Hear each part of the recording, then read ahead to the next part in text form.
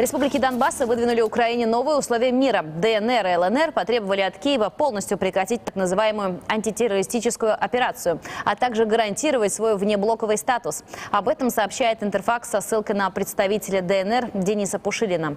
Он заверил, что самопровозглашенные республики выйдут из минских договоренностей, если усмотрят в курсе Киева дословно поползновение в сторону любого антироссийского военного союза.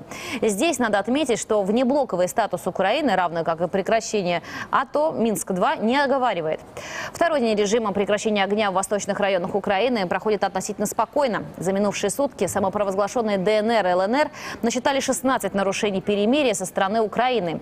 Ночью, по версии ДНР, украинцы трижды обстреляли Горловку. Об этом доложено в ОБСЕ. Киев, в свою очередь, зафиксировал 60 артналетов со стороны противника. А его СМИ утверждают, что под Дебальцевым ДНРовцы не прекращают огонь по украинским позициям. Независимое подтверждение получить не удалось. В воскресенье силы ДНР не пустили к Дебальцеву наблюдателей ОБСЕ, на которых возложен контроль за перемирием.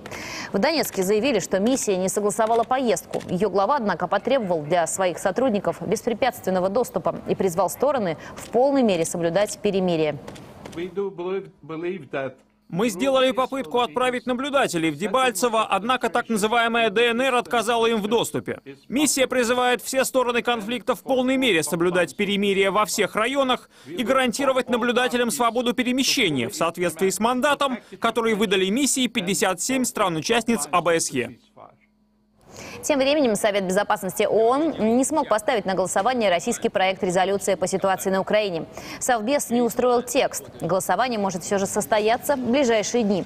Российский проект одобряет соглашение Минск-2, признает территориальную целостность Украины, а кроме того призывает к соблюдению перемирия.